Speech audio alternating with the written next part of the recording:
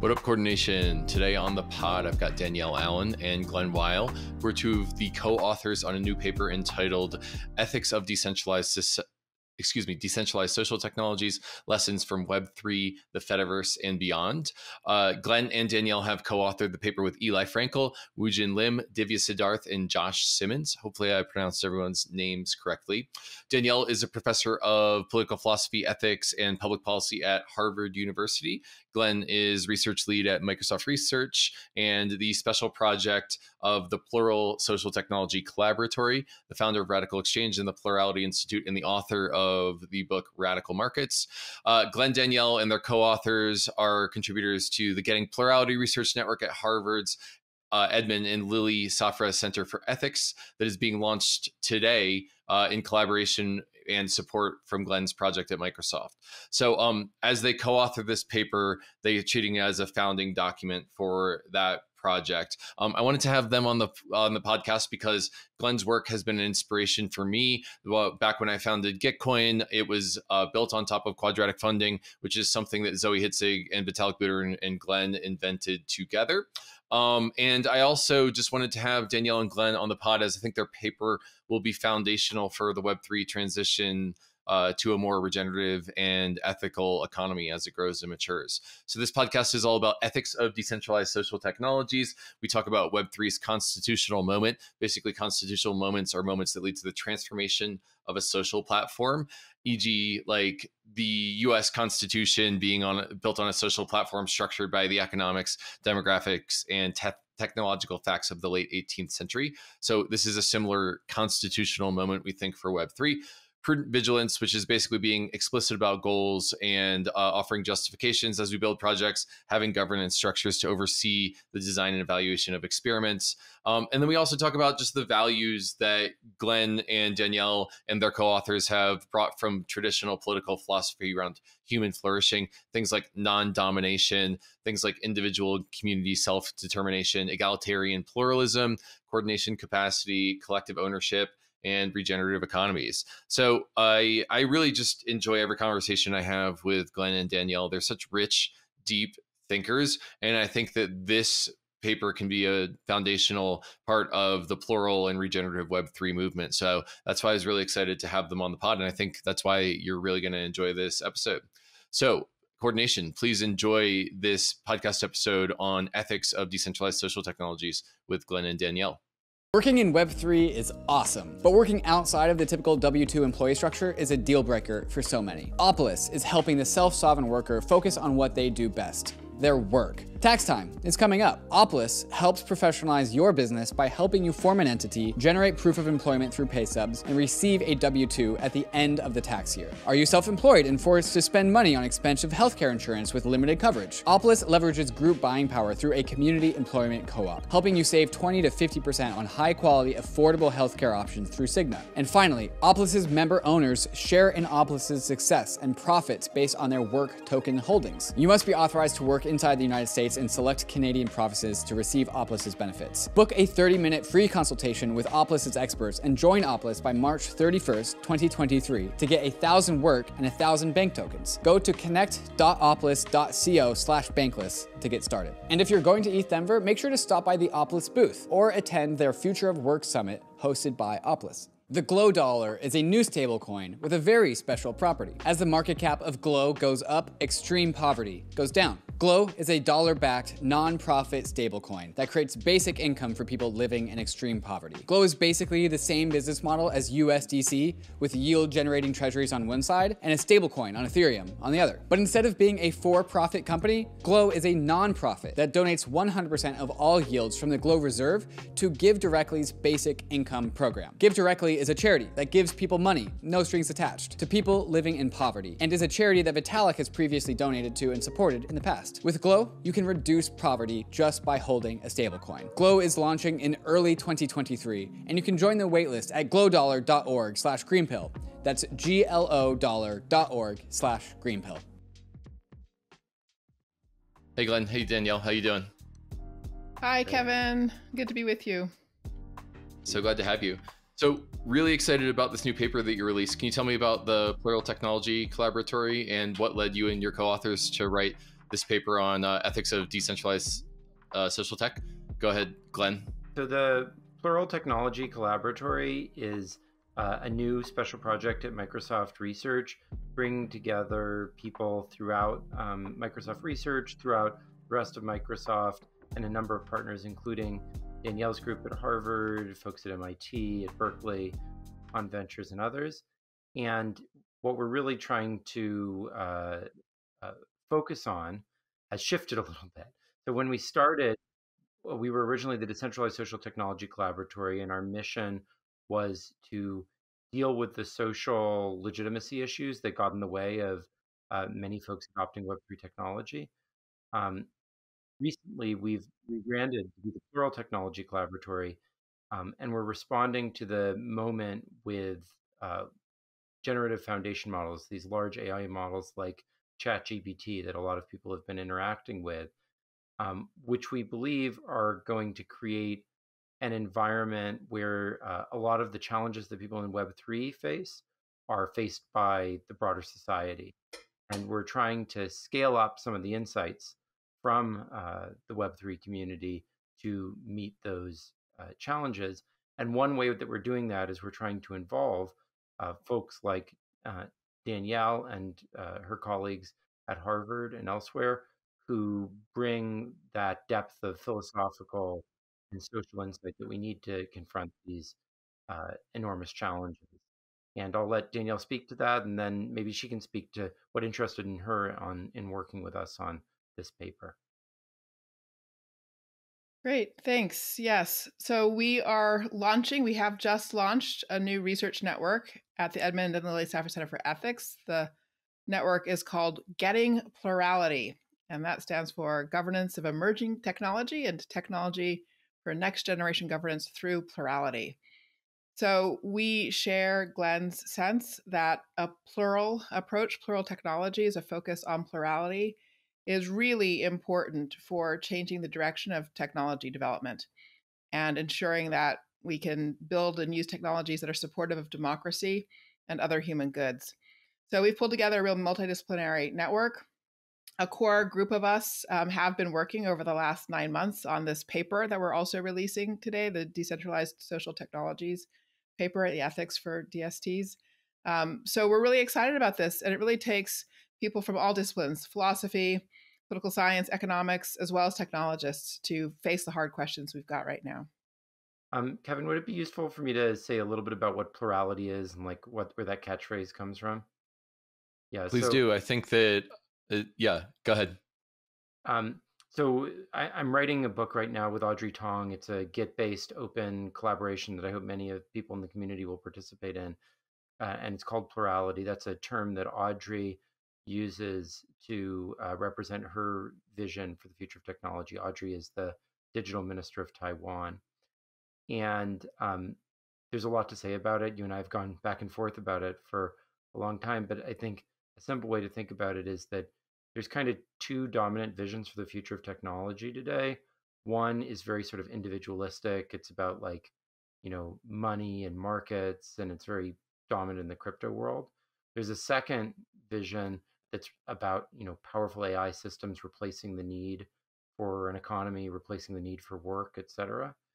And uh, what we believe is that there's a better third vision that emphasizes social diversity, uh, you know, a diverse range of commons, cooperation across social differences, but also that supports and maintains and actually proliferates those social differences rather than uh, just sort of washing them away into a global system.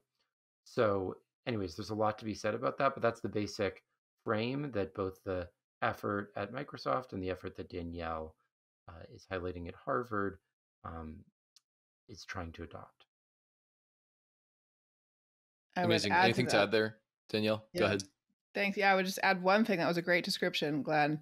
The other piece that I always like to include is the point that human intelligence is plural. There are plural intelligences. And so the amplitude of human intelligence really requires recognizing that plurality and building from it and in support of that plurality, not undermining it, eroding it, homogenizing it, and so forth. And, and even human is perhaps just one part of it. Um, these machines as well, we should think of as diverse, as containing many different systems at many different scales, not as sort of homogeneous black boxes that bring down some, you know, a quantity called power or intelligence to be used for any purpose. Um, and that's something that we should desire and seek to proliferate as we build technology, uh, whether it be in human systems or beyond. So, um, I really encourage everyone to go read the paper, but I'm wondering if we could if we could tee off the episode with a short summary or, or TLDR of the paper. How is it organized, and and what were the main messages you wanted to get across? Sure. Maybe I'll jump in, and then Glen can add um, as well as he sees fit. So the first and most important point is to say that recent technological developments do rise to the level of a constitutional moment there's been a lot of controversy over how important are decentralized social technologies, how important are generative foundation models. And the paper is mostly focused on, you know, DSOC, so blockchain, Fediverse a little bit. Blockchain is the sort of main example. Um, but the, the takeaway is yes, it is a constitutional moment. The kinds of things these new technologies can do go to foundational elements of how society is structured. They affect core elements of how property operates, um, core elements of how identity operates, and the like. And changes at that level will have fundamental impacts over time. We may not have seen those fundamental impacts yet. This is not to say that cryptocurrency as such is the fundamental impact, but the underlying technologies are transformative at a sort of deep constitutive level. So that's point one. And so then point two is, you know, what's an ethics for developing such technologies when the impacts are so substantial? We draw on some, you know, pre-existing examples from bioethics, sort of explore the landscape of how people have built different frameworks, you know, precautionary principle and the like. And we land on a recommendation for what we call prudent vigilance. Prudent vigilance is a framework where you expect uh, experimentalism. You're not trying to block it. You're not trying to make sure that you know you know in advance that no harm will come but you are building in processes to look for near term and long term uh, downstream consequences um, harms and so forth and building in processes and practices as part of the technology development um, to mitigate those risks. Um, and then of course there's also the question of can we take new technologies with constitutive power and not just avoid the harms um, that they cause, but also, in fact, deploy them to positive ends. So, in some sense, the really important part of the paper finally is a picture of human flourishing and um, a vision for um, what we call either plural or plurality based or power sharing liberalism. Um, it is exactly the, the, directions that we articulated with the plurality concept um, to start. And the question is, how can technology be used in this direction? Then, you know, the sort of question of are there key techno normative concepts um, that are pertinent here? Whether it's trustlessness, for example, or any of the others, and how do they map on to the values that we should want to bring to using technologies in this space? Um, I'm sure Glen has lots to add, so let me pass it over to Glen. I, I would just elaborate on Danielle's points, which I actually think were really the right ones.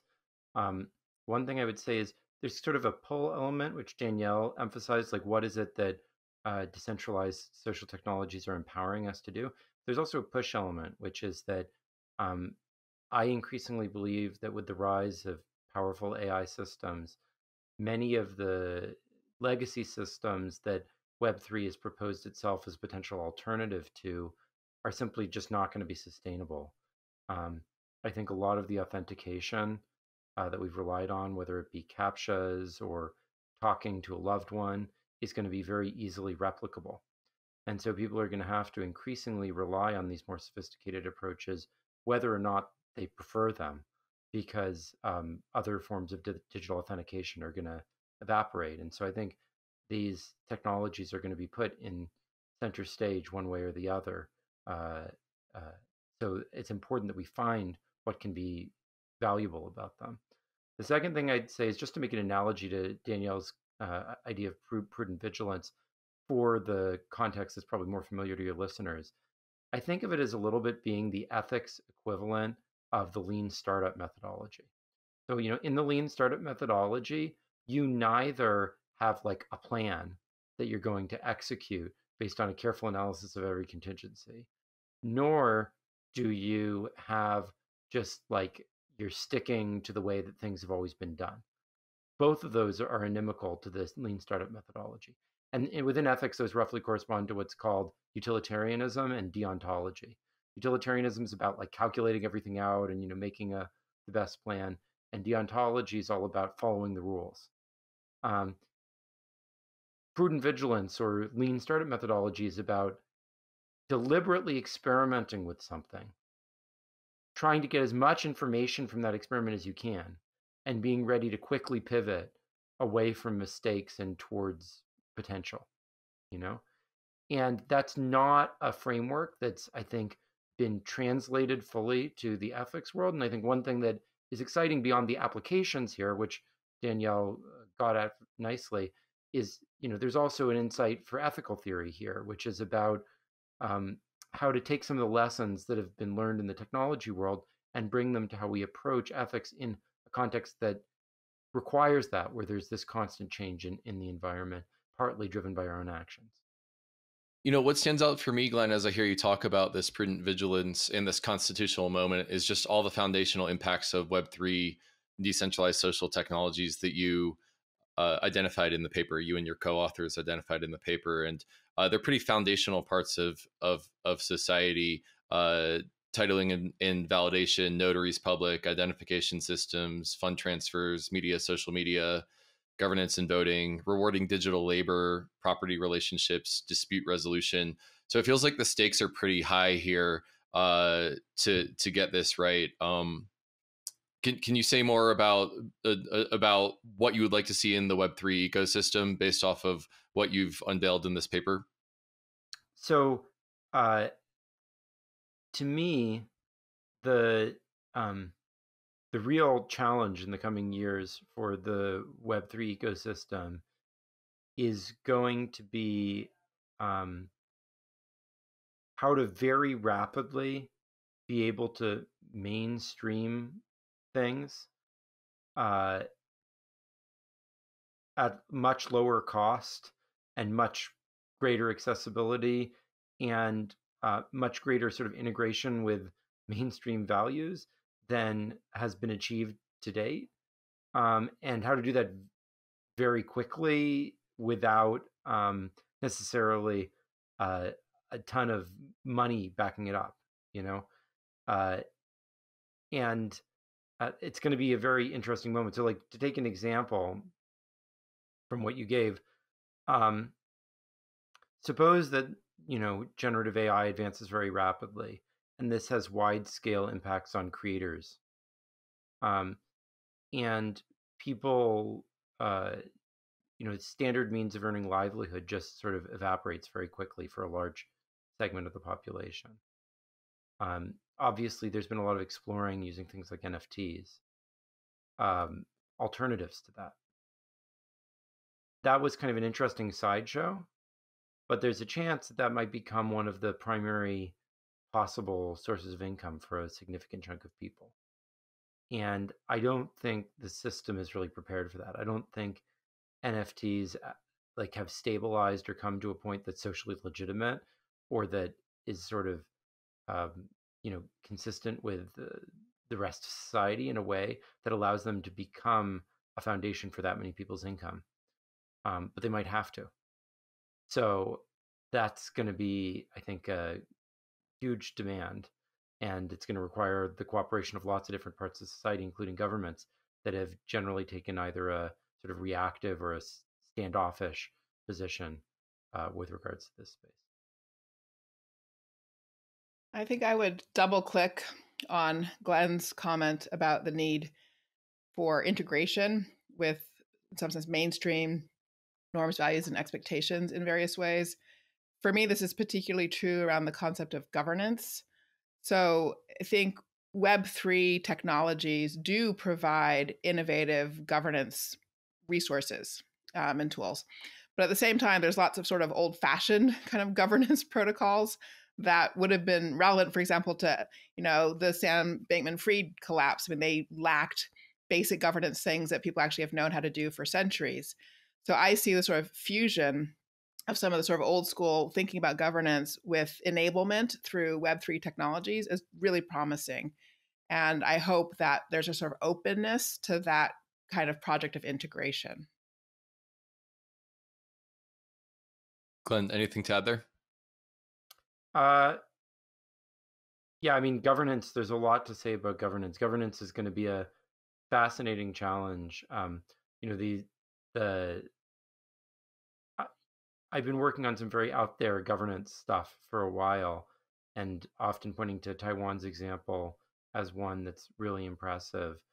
Um, but I've increasingly come to think that even stuff that's well beyond uh, what's going on in Taiwan may be relatively short term necessary um, just to deal with some of these challenges uh, that I was that I was mentioning.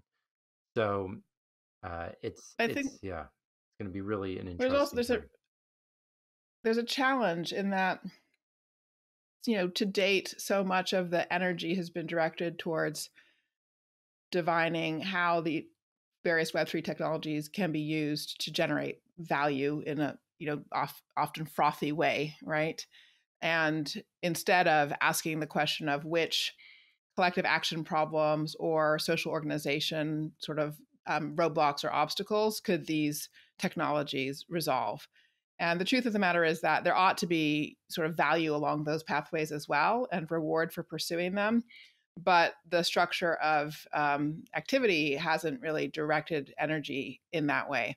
So that's sort of the question for me is how to get people sort of directed towards seeing the you know the potential for positive social impact and exploring points of application where that could be realized. I mean, uh, people Yeah. always say that fear and greed are the two great motivators, and I think one interesting thing that may happen in the coming years is the emphasis here may move from greed to fear a little bit. Like, if a lot of traditional governance and uh, verification systems begin to fail, and these uh, the possibilities in this space become fallbacks, things may become very real for people very quickly, for good or for and for ill. You know, uh, and people may be looking for ways to make things uh, work. That kind of happened to some extent with the Twitter, uh, you know, Twitter going south under Elon's management. But will um, we might see that at much broader scales for some of these other things, and and it might be generative or it might be uh, just as problematic. I'm, I'm not sure. We'll have to see. Well, I mean, I think regardless, it's in Web3's best interest to route capital and talent uh, to decentralized social technologies or Web3 projects that can bring the most positive impact in the world. This is a lot. Of, one of the things I talk about a lot in my work is how do we rotate capital and talent from the degen projects to the regen projects? Uh, how do we Mhm. make the market reward ethics? Because I think that once the market's rewarding the type of ethics that you talk about in this paper, then you'll just see a flow of innovation into into projects that that follow these guidelines and so um how do we rotate capital and talent into into these type of of projects? Because the market learns its lesson after ftx and after some of the hacks and ponzi schemes that were part of the last web uh, cycle what would have to be true for the next cycle of capital and talent to roll into projects that are part of your vision. Uh, maybe i'll go to you first danielle Yeah, no, that's a great question. I think that's one we're trying to answer. So, one of our projects, and this, I could kind of put a call out to your listeners, honestly, is we're now really trying to identify um, use cases where people are wrestling with the question of how to structure experimentation and the like. And we are going to be identifying some use cases to dig into to try to give guidance in that regard. Um, I mean, we're doing some work at the moment on DAOs, for instance, because that does seem like there's a lot of sort of promising governance potential there. So we are ourselves trying to spot the places in the universe where we see pro social benefits flowing, um, and then sort of try to lift them up and elevate them, bring research attention to them, bring sort of validation from the research community about where value is, hoping to some extent to shift the value framework you know that way um, and that obviously that can't do it in itself but it can make a contribution to it so um, that's a big part of it um, but i do think you know identifying the right kinds of problems to solve where there is value on the other side of a solution um, even if it is sort of structured somewhat differently than the speculative market structured value is a part of the work You know, I the uh, thing that was sort of implicit in Danielle's answer answer that I would emphasize really comes back to the pluralism point. I think that you get beneficial social change from the intersection of various dysfunctional sectors. So, like the academy has a lot of limitations, governments have a lot of limitations. civil society has a lot of limitations. Uh, the market, you know, especially the quite anarchic market in crypto, has a lot of limitations. But out of them together might come something really interesting. So I think one major goal we have with this paper is to welcome into the conversation people from Danielle's academic world and maybe uh, eventually people from politics to not just uh, talk about what's happening in the space or be pro or anti, but to actually help shape it um, and to help promote uh, directions for it. And I think that's what we've seen in Taiwan. Um, and we've seen for years government investment in fundamental research in all sorts of areas, not so much in this area. Um, and I'd love, you know, if our efforts can help bring uh, some of those other sectors into proactive participation in helping to shape this space, because I think if the logic of the the market, you know, is the only logic here, we won't get to good outcomes. There have to be a lot of different logics at play that sort of like intertwine with each other to to get good outcomes. Hmm, yeah, that's a what plurality. I meant by yeah, plurality, but also that's what I meant by sort of structure of value. That is, it's yeah, I mean, exactly. Glen's way of putting it was better. That market logics deliver one kind of structure of value, but that's not the only structure of value available to us. And it is true that the kind of intersection of public sector, civil society, and the market can generate opportunities where there's another sort of pathway to value. It's structured differently than the market would structure it, um, but it exists. And so being really clear in sort of problem identification so that we're seeing those problems where solutions of that kind um, would make a huge difference is sort of, I think, a, a really important job. And, you know, I, I, think it's important for people to keep in mind that that's how we got to the extent we got it at all decentralization in Web 1. It was not primarily driven by hackers who were anti establishment, it was driven by government bureaucrats who were worried about disruption of centralized systems um, and them working with academics who had been trained in various social thinking. And then uh, that eventually offering commercial opportunities to scale it. So it was a it was very much a multi-sectoral collaboration, and I think if we want sustainable decentralization, it's critical that we do that again today, and rather than just using one way of approaching the problem. Anything to add, Danielle? Well, I mean, I, I mean, sometimes I say to people, we get sort of stuck in this kind of false dichotomy between subsidize and privatize, um, as if those are the only two logics for achieving any major scale transformation. But there's a third logic, which I like just you know, reorganize, um, which is exactly mm. this matter of taking different sort of institutional configurations realigning them, reorganizing them with each other so that different kinds of human coordination are possible. And then boom, like huge amounts of value flows from that um, you know, provided that the thing you're realigning to achieve is socially useful and valuable. I'm wondering if y'all can tell us about some of the values that you put forth in the paper. Uh, specifically, I'm looking at the human flourishing section where we talk about things like non domination, individual and community self determination, egalitarian pluralism, coordination capacity, collective ownership. Um, for me, these are are new sort of phrases and buzzwords. In in Web three, we talk a lot about decentralization and sometimes public goods. But why why these values? Why why were these so important to you in writing the paper? Sure. Um, so I'll jump in on that one for starters. Um, so over you know the millennia, political philosophers have put forward any number of different theories of human well-being or human flourishing. So, this framework represents, in some sense, the leading edge. Um, there are a number of different philosophers you can point to around the world. Philip Pettit, based mainly in Australia, Amartya Sen, connected to India, the UK, and the US, Elizabeth Anderson at the University of Michigan, myself, um, all of whom have um, really dug into the concept of human freedom and human well being and made the case that um, the richest concept is one that centers an idea of non-domination. So it's a contrast between the idea that freedom is just freedom from interference. You know, the government should always just leave you alone. Anything the government does is interference, versus a concept where the thing to avoid is domination. So arbitrary decision making, um, for example, or illegitimate decision making. Um, but that, in fact, uh, what we all need is sort of empowerment um, in both our private and our public lives as co-creators of the norms and constraints that shape the conditions for action. Um, and then that the creation of those constraints always be non-dominating, hence the need for legitimacy and so forth, the legitimacy requirements. At any rate, so there's that sort of big body of work in the world of philosophy that is articulating this view um, for where the path of human flourishing is. It is also supportive of a pluralist view. The idea is not that human flourishing looks exactly the same for every human being. It's rather that if we are, again, empowered in our private lives and in our public lives as co creators of norms and constraints, um, then we can all find our paths to flourishing and we can also find the way of aligning our different paths of flourishing with one another for sort of broadly uh, positive social cooperation. Um, so the other concepts sort of flow out of that core idea um, the commitment to egalitarian pluralism, um, decentralization, coordination capacity, and the like.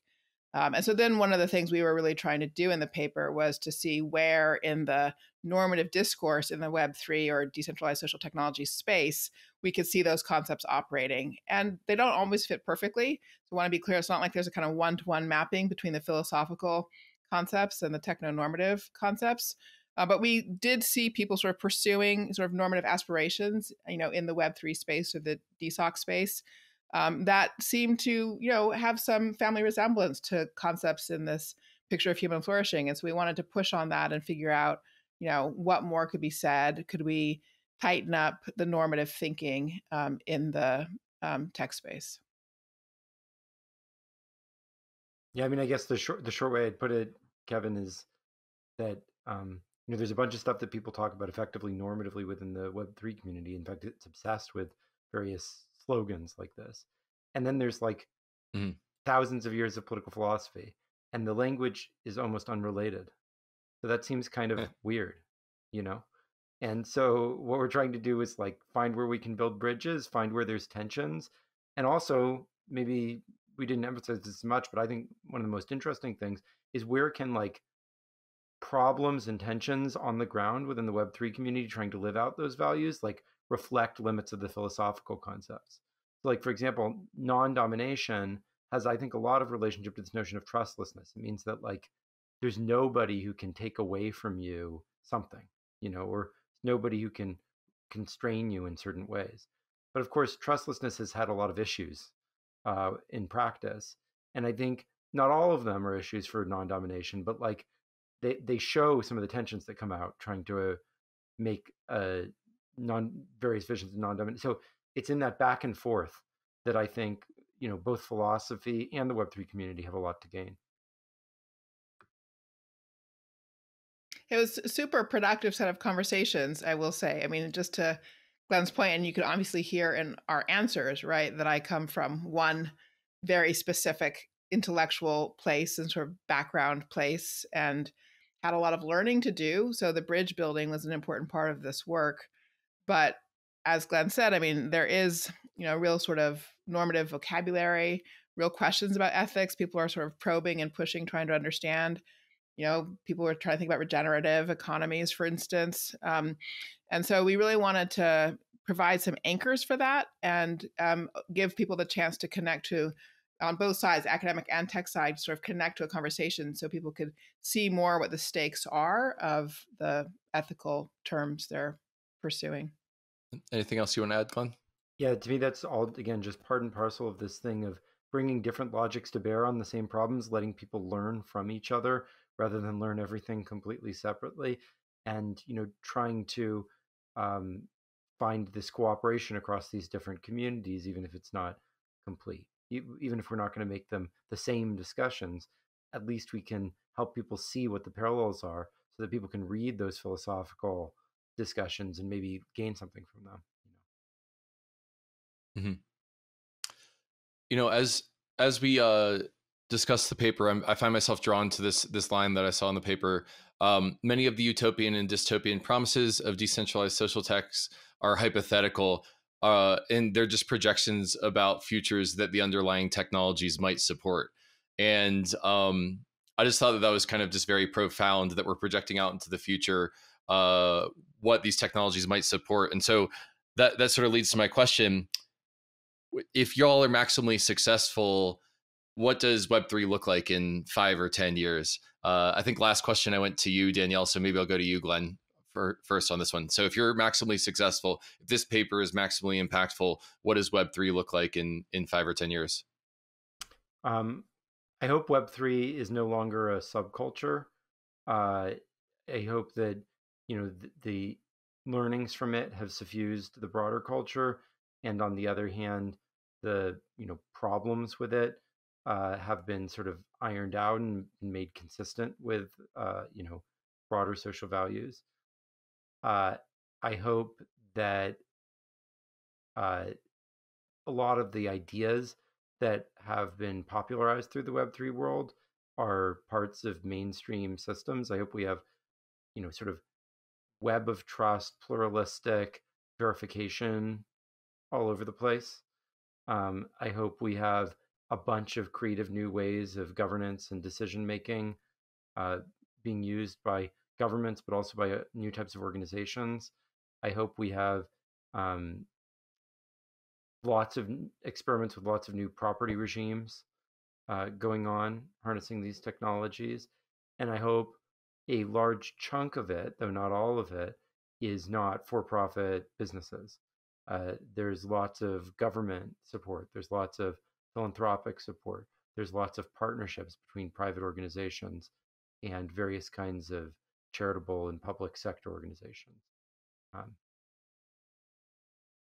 yeah, no, I would um, second all of that. And I guess the way I would put it is I hope that in five years' time, the use case that the general public thinks of when they hear about blockchain isn't cryptocurrency, actually. That so many other use cases have suffused the space that people realize it's a technological enablement that can solve problems you know across domains. Again governance problems verification problems etc so um, yeah. Um, well as as we're sort of getting towards the bottom of the hour i'm wondering if there's anything that i didn't ask that y'all want to say. Maybe Danielle, I'll go to you first on this one. Well, I mean, for me, I am really interested in the question of what case studies feel the most pressing for people. And so I'd really love, again, to kind of put out a call and people can find us online at the Getting Plurality Network. If you Google that, and there'll be a kind of point of contact. And if you have, um, if people, if listeners have cases where they're sort of wrestling with questions of ethics as they're trying to figure out how to deploy some element of decentralized social technology, we'd love to hear from people because um, we are really wanting to be responsive to the decisions people are actually facing. And I think we still have a lot of work to do, honestly, um, to be effective in offering you know practices, protocols, and the like for people to you know be able to use the kind of ethics guardrails that we've tried to sketch out in the paper. Thanks, Danielle. We'll have a link to that in the show notes, the Getting Plurality Network, and people can reach out if they have ethical questions as they build DAOs and Web3 tech.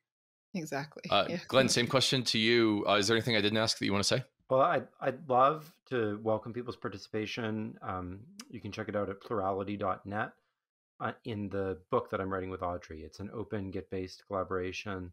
We'll be using a lot of the innovative governance approaches that we describe in the book and that you and I have talked about for so long that you talk about in Green Pill as part of the book project. Um, and we'd like to help have people use those tools to co-create their vision of of the future of them. So uh, that's my call for participation. Amazing, and I, I, would also ask that the listeners read the paper. I, I read it over the last couple days. It's really quite inspiring to to hear how uh, how you envision Web3 technologies and the ethics of decentralized social, um, especially knowing just how deeply connected in the space y'all are. Uh, you know, my work at Gitcoin was built foundationally on top of uh, quadratic funding and the decentralized society paper that Glen and Vitalik and uh, and Puja put out uh, was really foundational. So, um, Glen, thank you for writing this paper. on Danielle. your uh, exciting um, fundraising uh, effort recently around that paper. That's right. Yeah. For for the audience's benefit, uh, it wasn't my uh, fundraising uh, effort. Uh, Gitcoin uh, had Glen and Vitalik and Zoe sign the QF paper, and um, I also wrote an article and signed a paper, and that was dropped as an NFT called Gitcoin Presents, and I think it raised like 800k for the Gitcoin matching pool and for the Plurality Plurality Institute. So thank you again for your support Oh, of that, great. Glen. Yeah, that was uh, fantastic. very meaningful. Yeah, uh, well, I think I was meandering there, but what I wanted to say is that y'all have both been such an inspiration for me, uh, and your work has been foundational for some of the stuff that I've worked on. And so, um, if I can pay it forward and we can build this movement of pro- plurality forward, that seems like a really exciting outcome for me. Fantastic. Us Thank you, too. Kevin. Really appreciate your work. All right, so uh, call to action for the listener: check out the Getting Plurality Network, check out plurality.net, and read the paper. There will be links in the show notes for each of those. Thanks so much for joining me, Danielle and Glen. Thanks, Kevin.